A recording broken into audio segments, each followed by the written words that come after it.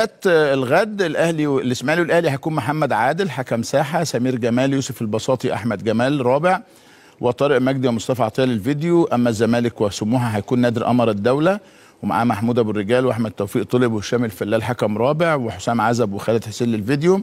إم بي وبيراميدز امين عمر وعونه هاني عبد الفتاح وشريف عبد الله وأحمد ناصر حكم رابع والثنائي وائل فرحان وأحمد لطفي للفار. بالمناسبة كل ما أشيع إنه آه الأهلي طلب تغيير كابتن إبراهيم نور الدين. هذا الأمر غير صحيح لأنه أصلا الكابتن إبراهيم نور الدين ما كانش متعين في المباراة.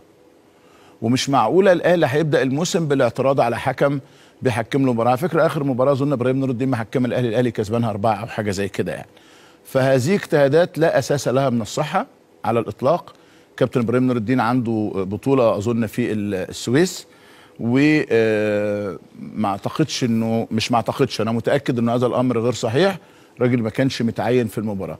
كمان كل ما يقال انه اصله بعد اللي حصل في مباراة الترجي وبطل نيجيريا في تونس واحتساب ضربة الجزاء فخلى كلاتنبرج يشيله اولا. كلاتنبرج لا يحاسب إبراهيم نور الدين في المباريات الإفريقية. ده نمرة واحد.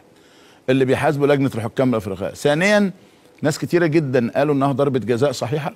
وناس قالوا إنها مش ضربة جزاء. يعني هي هي ضربة جزاء زي ما أنا قلت مثيرة للجدل.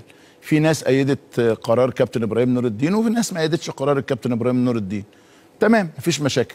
لكن الكابتن إبراهيم ما كانش متعين لمباراة الأهلي والإسماعيلي من الأصل خالص. يعني أنا بقول لحضرتك معلومة بنسبة 100% عندي